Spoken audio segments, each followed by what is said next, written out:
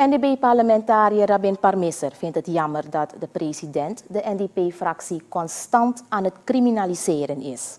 Ook hekelt hij het steeds naar het verleden kijken door de regering. Parmeester vindt dat met deze houding van de regering de democratie van ons land niet tot uiting komt.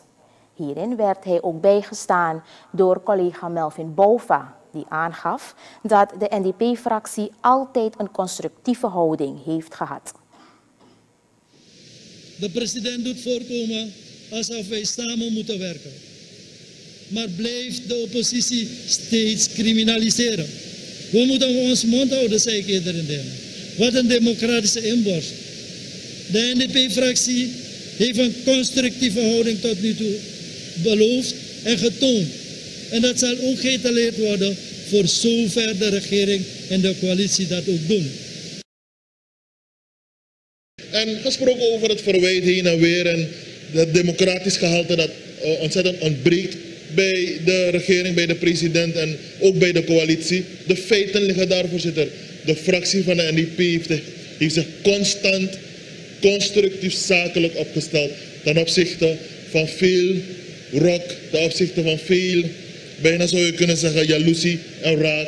Terwijl we de zaken toch wel eerlijk en transparant voort moeten laten gaan. VHP-parlementariër Rajinder Kumar Debi zegt dat de regering niet meer naar het verleden zal kijken wanneer de NDP-fractie aangeeft dat zij de oorzaak is van vele zaken die mis zijn gegaan in de afgelopen periode.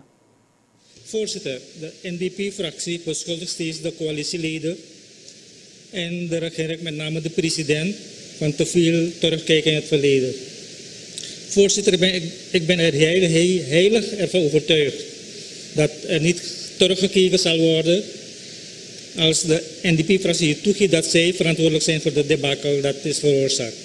Rajinder Kumar, Debi VHP-parlementariër vandaag tijdens de openbare vergadering in de Nationale Assemblée.